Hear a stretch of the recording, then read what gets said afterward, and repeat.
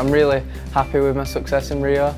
Uh, I'd love to go back now and redo it all, uh, but uh, I think it's more of a learning curve and uh, like looking back at that, I just missed the gold and, and like reflecting on what I did that day and throughout the year and it's really good to reflect and work on for the next four years for Tokyo. It meant the world to me being on that podium in front of my family, friends and everyone at home uh, watching me and it's just good to have a, a, a accomplishment after something what you've worked so hard for. My goals for 2018 is the Commonwealth Games and European Championships, try and defend my world record now and uh, keep up the hard training really.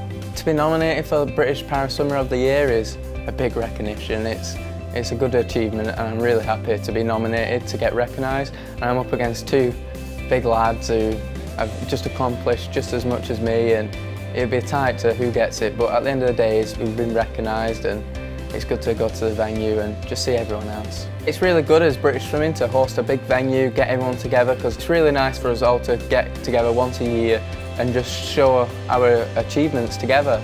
Uh, so I'm quite looking forward to it.